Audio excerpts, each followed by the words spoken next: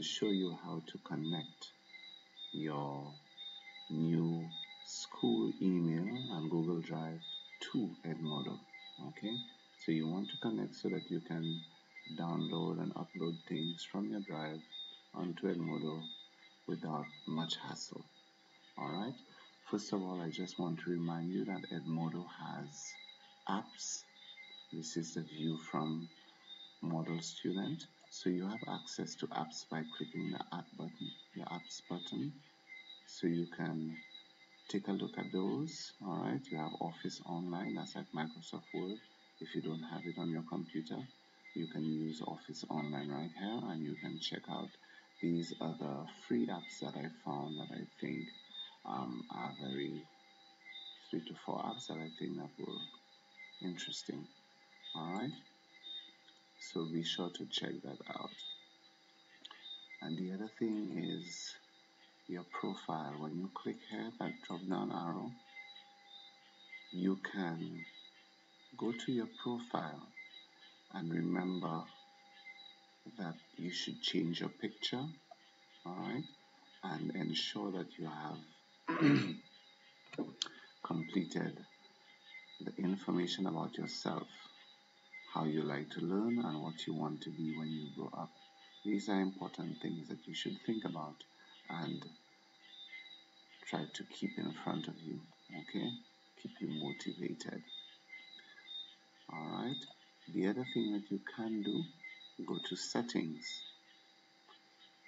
And you now have an email.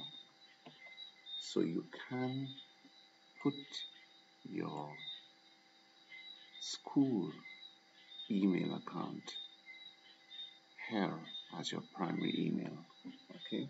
So you can go ahead and put whatever it is model dot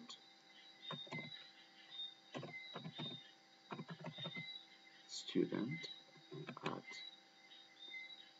facs.edu.lc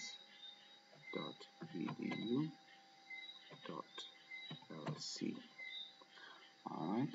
So when you do that you have to confirm it by looking at your email to get a, a link from Edmodo that will say okay um, your email is confirmed. So it's your first name dot your surname at facs.edu.lc alright? So make sure you make that little change here ask you for your password.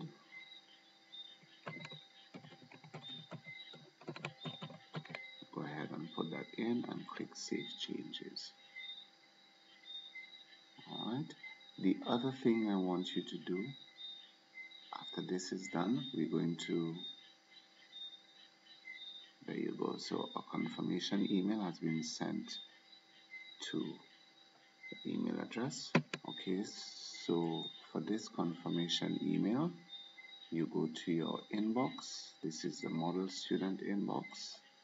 And it says that confirmation is required. They just want to know that you can access the email.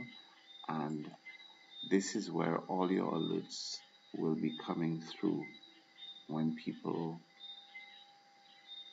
chat on Edmodo or when your, your teacher or somebody else makes a post, you will get an update in your, your email. So that's one way of linking Edmodo to your email account. Okay, so it says here you've successfully confirmed that this is your email address and you just go back to Edmodo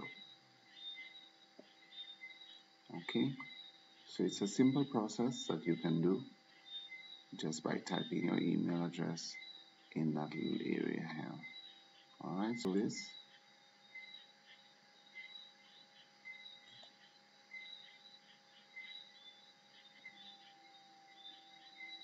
and just wait for me to get back to Edmodo and I will show you how to sync your Google Drive to your Edmodo account. Okay, to do this, you need to go to your backpack. Okay, in your backpack, you have your Drive feature. and you are going to click on it and then log in to connect your drive to your Edmodo account. So let's just see how that works. I click on Google Drive and then it says connect with Google Drive. Again, they will want to know that this is actually your account and you have access to the drive.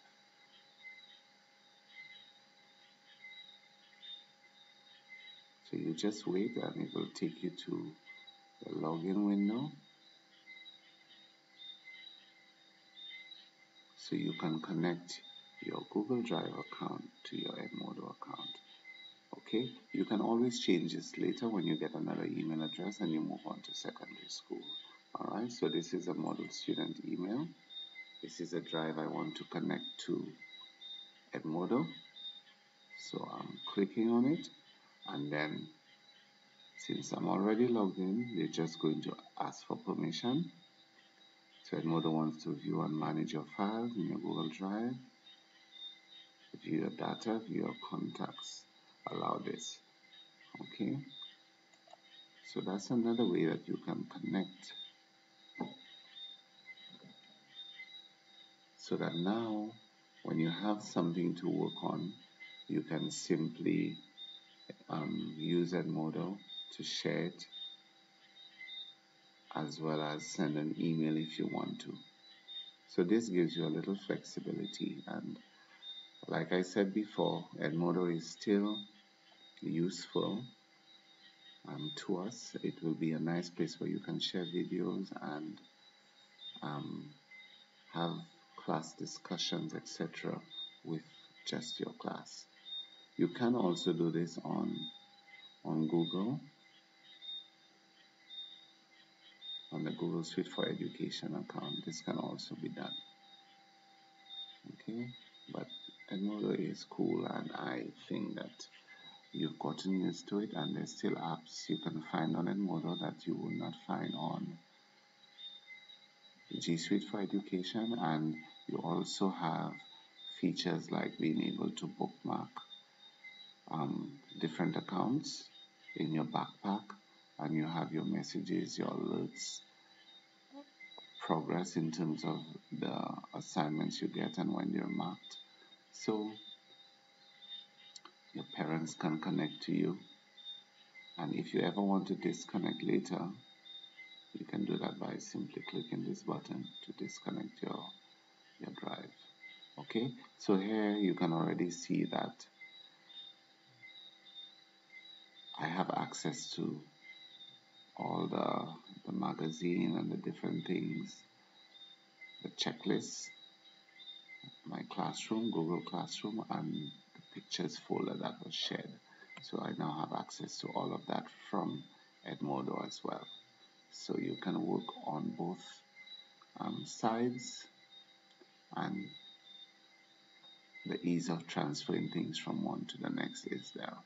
Okay, I hope this video was helpful and um, do remember to connect your drive to Edmodo and make um, enter your email address so that you can get updates and alerts and messages in your inbox whenever something new happens on Edmodo or your Google Classroom. Okay? Do take care, everybody, and enjoy the use of technology. Remember to use technology responsibly. That is very important. All right. Have a nice day, everybody.